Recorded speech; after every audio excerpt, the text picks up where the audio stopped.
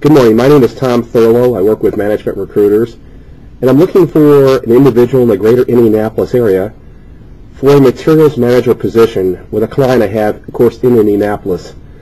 I'm not looking to relocate anybody. If you have these kinds of skills, as you see in the ad, I would like to speak to you right away.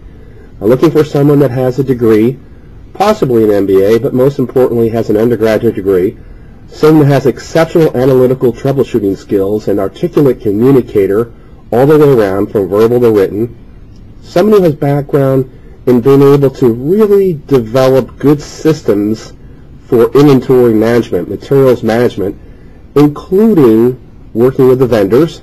So that means they're incredibly good at developing relationships to bring the products in on a timely basis, but also very savvy in getting, if you will, the best price those services.